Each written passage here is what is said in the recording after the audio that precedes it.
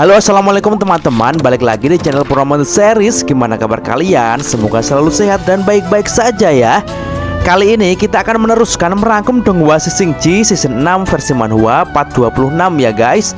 Dan alangkah baiknya teman-teman juga nyimak episode-episode sebelumnya Biar tahu cerita selengkap-lengkapnya.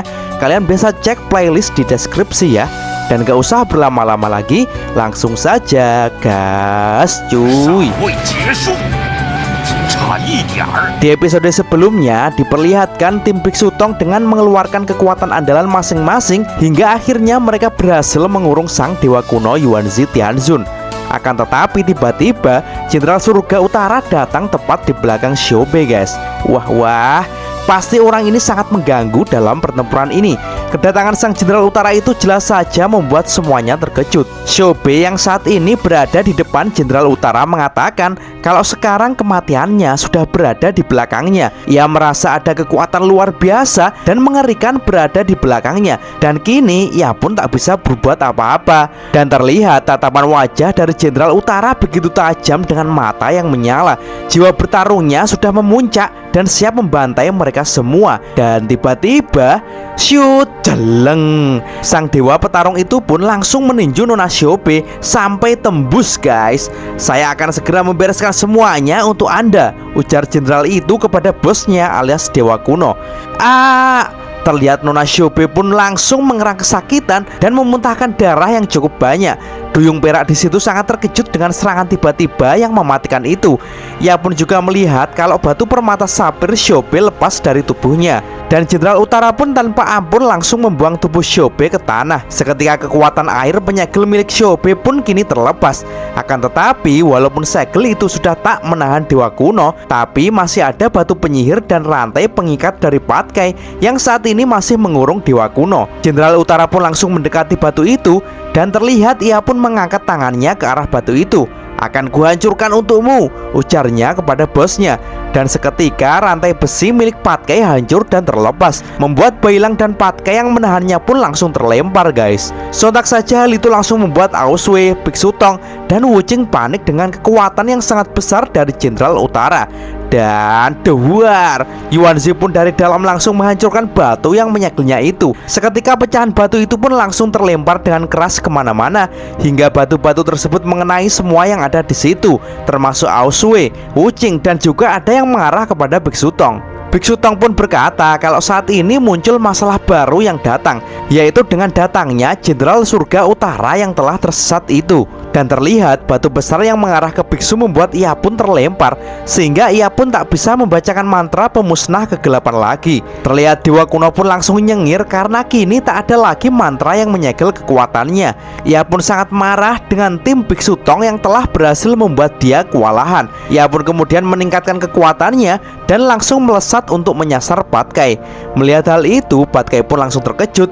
Woi kenapa harus aku yang diserang? Kenapa bukan yang lain saja? Teriak Patkai kesal dan panik dan Dawar Dewa kuno itu pun dengan kejamnya mencekik dan langsung membanting Patkai ke tanah dengan keras guys. Bailang, Biksu Tong, dan Wuching pun sangat khawatir dengan keadaan Patkai saat ini Terlihat Yuanzi di situ sangat geram dengan Patkai Dasar babi jelek, pertama kali melihatmu aku sudah jijik dengan mukamu yang jelek ini Ujar Yuanzi Tianzun sambil mengepalkan tangannya. Dan blar Pukulan dewa itu pun mendarat kepada Patkai dengan sangat dahsyat. Dan tak hanya itu Seketika keluar panah-panah penderitaan yang muncul dari serangan itu dan menyebar ke mana-mana Yang juga mengenai Bailang guys. Ular putih dan Biksu Tong pun sangat terkejut melihat serangan itu. Perlahan-lahan asap yang tebal itu pun mulai memudar Dan kini terlihat sang dewa kuno itu telah menyangking tubuh Patkai yang sudah tak berdaya. Ini sudah berakhir. Ternyata hanya babi rendahan Bahkan dia pipis di celana ketika aku pukuli Ujar Dewa Kuno. Dan diperlihatkan kini tubuh Patkai sudah babak belur Tak berdaya dan berdarah-darah Yuanzi di situ mengatakan kalau ia sangat geram dengan mereka semua karena telah mempermalukannya dan ia akan menyiksa mereka semua satu persatu sampai mati. Biksu Tong yang juga geram muridnya diajar seperti itu langsung melompat dan akan menyerang Dewa Kuno. Jangan takut Patkai, aku datang, teriak Biksu Tong. Dengan pandangan sinis Yuan Zi Tianzun mengatakan kepada Biksu Tong Huh, apa yang bisa kau lakukan selain membaca mantra? Sambil akan melayangkan tinjunya yang berwarna keemasan itu Biksu Tong berkata kalau tinjunya itu akan membuat dewa jahat itu terluka Dan grup dengan mudahnya Dewa kuno itu bisa menahan pukulan Biksu Tong hanya dengan tangannya. Seketika dari tangan jahat itu keluar panah-panah penderitaan yang mengarah ke Biksu Tong. Walaupun kamu cukup pandai dalam bertarung, tapi sayang sekali hasilnya akan tetap sama saja, ujar Yuan Zi Tianzun. Dan ia lalu melancarkan kekuatannya lagi kepada Biksu Tong. Dengan sekuat tenaga, Biksu Tong pun mencoba untuk menahan serangan yang kuat itu. Sampai kapan kau akan bertahan? Ini ku kembalikan babi tak berguna ini kepadamu Teriak Dewa Kuno dan langsung melemparkannya ke tubuh Biksu Tong. Dan jeleng Yuanzi langsung meninju Patkai dengan keras hingga mereka berdua pun terlempar sangat jauh dan membuat Patkai muntah darah guys. Biksu Tong pun khawatir melihat kondisi Patkai yang terluka parah itu. Patkai yang saat ini sudah sekarat ya sekuat tenaga berpesan kepada gurunya kalau gurunya harus hati-hati dan waspada dengan kekuatan Yuanzi Tianzun dan terlihat Jenderal Utara pun berjalan mendekat kepada atasannya itu. Dia berkata kalau sepertinya serangan kombinasi dan kerjasama dari rombongan Besutong telah berhasil membuat sang dewa kuno kesulitan. Akan tetapi setelah Jenderal Utara itu membunuh satu dari kekuatan mereka, kombinasi mereka pun sekarang sudah tak berguna lagi. Yuan Zi kemudian berkata kalau ia tak akan melupakan semua bantuan dari jenderalnya itu. Jenderal Utara pun mengatakan kalau ia akan selalu mengikuti jalan yang paling kuat dan ia merasa ikut senang melihat Dewa Kuno berhasil mendapatkan apa yang dia inginkan. Dan Dewa Kuno itu berkata kalau setelah dirinya berhasil mendapatkan apa yang dia inginkan Maka dia akan mengabulkan permintaan dari jenderalnya itu. Dan terlihat Biksu Tong pun mendekati Patkai untuk melihat keadaannya Yang saat ini sudah sekarat dan tak kuat lagi untuk bangun. Lalu Biksu Tong pun menoleh kepada api abadi. Shoyu yang sudah berada di dalam api itu cukup lama Akan tetapi perubahan dari api itu belum signifikan Dan itu membuat Biksu Tong pun menjadi ragu. Karena saat ini orang-orang yang bersamanya telah di dikalahkan oleh sang dewa kuno. Dimulai dari Shobe yang tumbang karena pukulan Jenderal Utara. Wuching yang saat ini kehabisan partikel pasir dan tak bisa bertarung lagi. Dan Aosue yang saat ini ketakutan dan malah bersembunyi. Dan kini satu-satunya harapan dari Biksu Tong hanyalah Bailang guys. Yang saat ini kondisinya masih bisa bertarung dan mampu menantang sang dewa kuno. Dan terlihat kini Bailang sudah berada di hadapan dewa kuno Bailang pun sangat marah dengan Yuanzi dan tak akan membiarkan dewa kuno itu mendekati lubang api abadi. Yuanzi pun di situ hanya tertegun sebentar melihat Bailang dan tiba-tiba ia pun meringis dan tertawa. Haha, anjing setia yang menarik, ujarnya. Aosue yang saat ini hanya diam-diam mengintip Bailang pun panik dan berkata kalau Bailang pasti akan dibunuh dengan mudah oleh dewa kuno itu. Biksu Tong yang melihat saat ini Bailang akan berduel dengan dewa kuno, ia pun langsung memanggilnya Bailang, dengarkan, teriak Biksu Tong. Bailang pun langsung terkejut dengan panggilan itu dan tiba-tiba Biksu Tong pun berteriak kepada Bailang. Mencangkul di siang hari, keringat menetes di tanah. Siapa yang tahu makanan Cina? Ayo semuanya bekerja keras. Hah? Apa maksudnya perkataan itu, guys?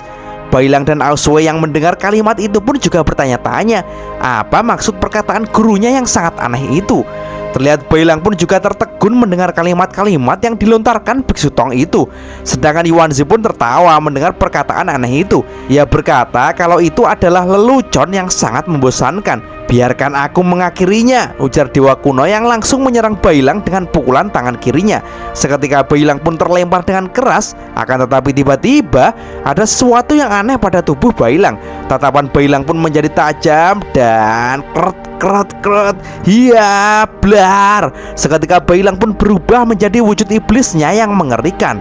Yuan Zi di situ pun langsung merasakan aura membunuh Bailang yang sangat kuat. Begitupun dengan Jenderal Utara, Aosue, Hu Jing, dan Patkai Semua terkejut dengan aura membunuh Bailang yang sangat luar biasa itu. Biksu Tong kemudian mengatakan Kalau apa yang diusahakannya terhadap Bailang ternyata berhasil juga. Dan ini merupakan strategi di saat mereka sudah tertekan seperti sekarang ini Biksu Tong kemudian mengingat saat ia melatih Bailang di istana Duyung Hingga akhirnya Biksu Tong berhasil merangsang Bailang untuk mengeluarkan wujud iblisnya. Dan ia langsung melompat untuk menerkam Biksu Tong. Melihat hal itu, Biksu Tong pun langsung berteriak memanggil Wujing dan Patkai untuk menolongnya. Hingga akhirnya mereka bertiga pun berhasil meredam Bailang Biksu Tong pun merasa lega karena saat itu ia tak terbunuh oleh Bailang. Wujing di situ kemudian bertanya kepada gurunya kenapa Bailang jadi seperti ini.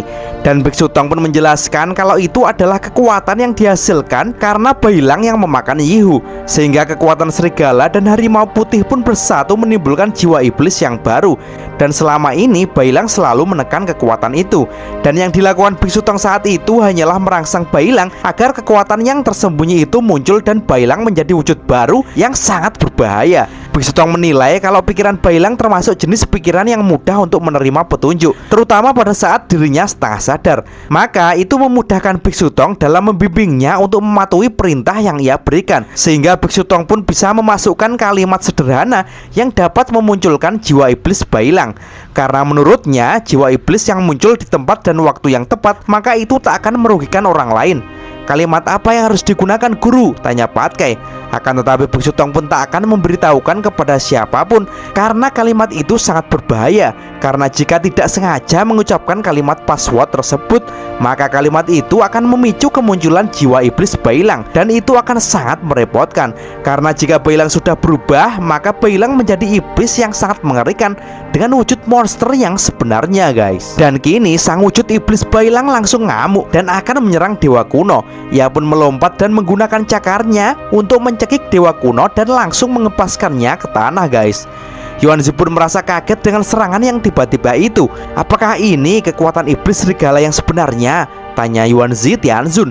Dan wah terlihat Bailang pun meraung dan mengeluarkan taring serigalanya yang sangat mengerikan di hadapan dewa kuno guys. Bailang pun mencekik dewa kuno dengan sangat kencang berharap dewa jati itu bisa mati di tangannya ia pun langsung mengamuk dan menggunakan cakarnya untuk mencabik-cabik tubuh Yuanzi yang sudah terpepet di atas tanah guys. Dan ya dar dar dar dar dar Bailang menghajar dewa kuno itu dengan membabi buta hingga tanah di situ rusak dan berserakan ke mana-mana. Sedangkan Yuanzi pun terlihat terpojok dan hanya mampu mencoba menahan serangan Bailang yang brutal itu. Sedangkan Bailang pun terus meraung dan ia pun berteriak dengan keras, pertanda kalau ia berada di puncak kemarahannya.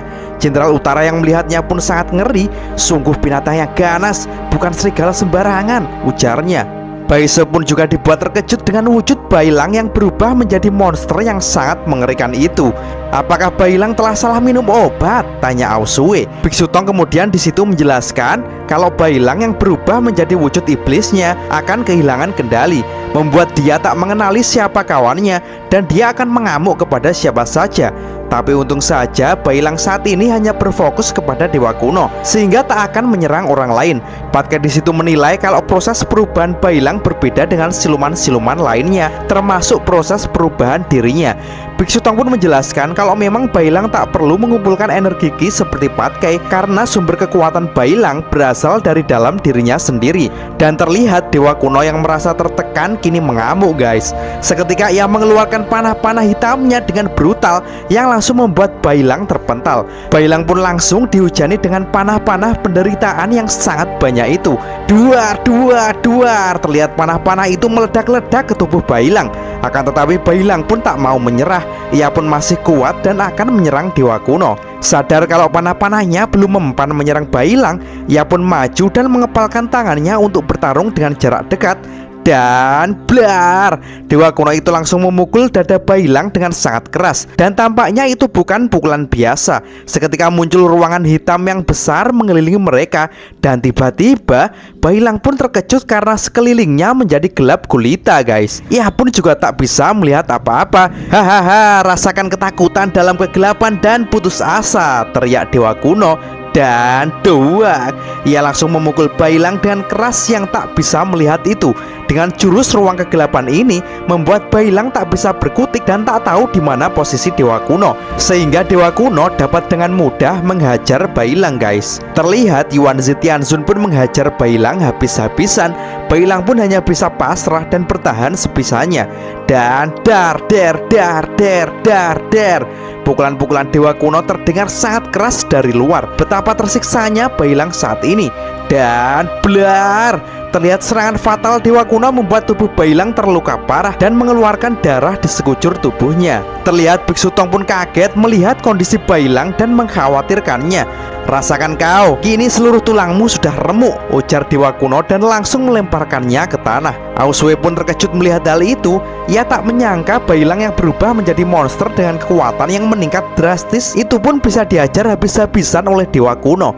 Akan tetapi Bailang yang sudah tergeletak itu berusaha sekuat tenaga untuk bangkit lagi Karena Bailang mempunyai jiwa yang tak mudah menyerah Bahkan dengan semangat yang membara itu Membuat tulang-tulangnya yang remuk menjadi pulih kembali guys. Ia pun langsung bersiap untuk menyerang Dewa Kuno.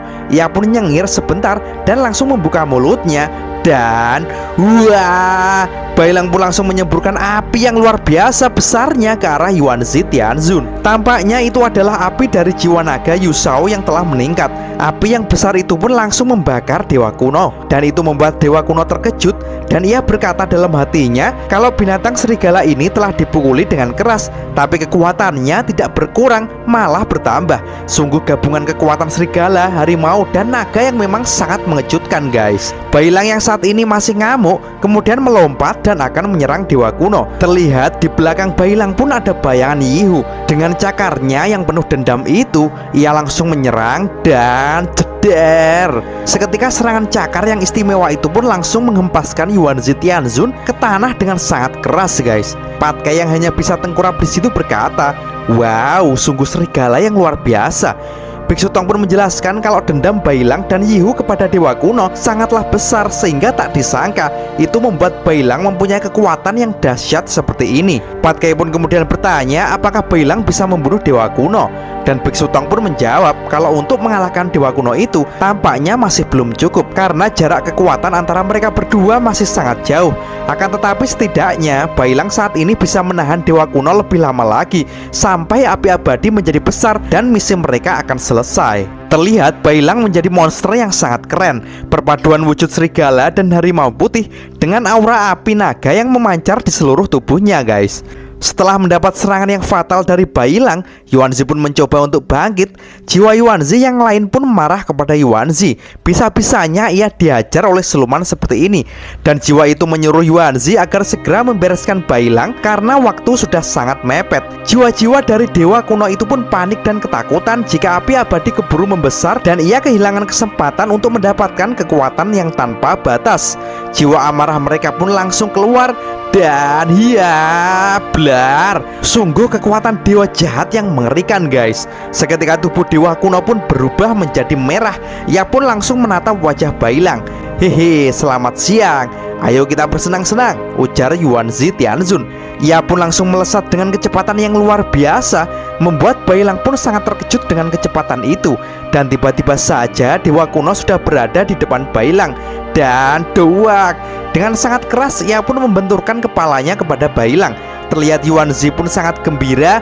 Ia mengatakan kalau saat ini ia menggunakan tubuh yang tak bisa dikalahkan. Ia pun mengaku tak pernah bertemu dengan tubuh ini sejak zaman kuno dahulu kala. Aku datang dan ayo senang-senang ujar Dewa kuno. Dan dua Ia pun memukul Bailang sangat keras. Dan doak Ia pun lanjut menyekut Bailang tanpa ampun Seketika ia pun mengangkat kedua tangannya untuk ancang-ancang Dan kedua tangan itu pun langsung menyasar dada Bailang. Dan Jeleng Seketika Dewa Kuno itu mengeluarkan kekuatan yang maha dahsyat Yang langsung menghantam Bailang dengan sangat telak guys. Biksu Tong pun langsung khawatir dengan keadaan Bailang saat ini. Akan tetapi dengan wajah iblis yang melotot Bailang pun berusaha sekuat tenaga untuk bangkit Dan akan melawan Dewa Kuno kembali. Ia kemudian berteriak kepada Yuanzi Tampaknya monster itu memang tak mau untuk dikalahkan guys. Melihat hal itu, Yuanzi pun tertawa karena pertarungan ini sangatlah menarik. Kau tampaknya tak bisa mati. Aku sekarang datang lagi, teriak Yuanzi sambil melesat dengan kecepatan penuh ke arah Bailang. Sedangkan Bailang yang saat ini sudah terlihat ngos-ngosan itu pun juga bersiap untuk menghadapinya, guys. Biksu Tong di situ melihat kalau Bailang gerakannya semakin lambat. Itu dikarenakan serangan penghancur dewa kuno yang sangat besar yang terus-menerus menghantam Bailang. Dan tiba-tiba terlihat kaki yang mendatangi Biksu Tong. Percuma saja, Yuan Zitianzun bukanlah orang yang bisa kalian kalahkan, ujarnya. Dan ternyata itu adalah sang jenderal surga utara, guys. Ia lalu mengatakan kalau Bailang memanglah kuat, tapi ia tak akan bisa bertahan. Dan jenderal utara yang saat ini sudah berada di depan Biksu Tong, maka ia tak akan membiarkan Biksu Tong untuk melarikan diri.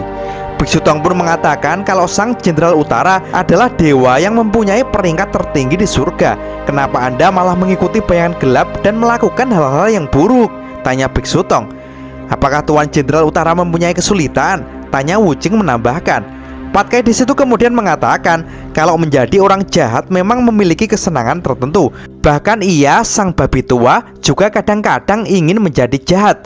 Mungkin saja Jenderal Utara itu sama dengan babi tua ini, ucap Patkai di situ. Mendengar hal itu, sang Jenderal Utara pun langsung menatap mereka dengan tajam. Bisakah kalian menghadapi kematian dengan tenang? Setiap orang memiliki ambisi yang ingin diwujudkan, ujar sang jenderal utara itu. Ia pun langsung mengangkat tangannya dan ia berkata kalau ia tak akan berbelas kasihan kepada Biksu Tong dan murid-muridnya. Biksu Tong yang langsung tertegun di situ tiba-tiba jeder. Terlihat serangan petir kemerahan yang menghantam jenderal sesat itu, guys. Tapi tampaknya petir itu tak terlalu berdampak pada dirinya. Ia pun langsung melirik ke belakang dan ternyata itu adalah serangan Auswe. Ia terlihat melompat dan ia berkata kepada gurunya kalau lebih baik mereka kabur saja dari sini. Biksu Tong pun langsung berteriak dan berkata kalau mereka lari sekarang, Shoyu dan Bailang akan mati. Tunggu sebentar, bentak Biksu Tong. Auswe pun bertanya kepada gurunya kalau mereka harus melakukan ini sampai kapan? Karena apabila mereka harus bertahan 2-3 hari Maka mereka pasti akan mati sia-sia.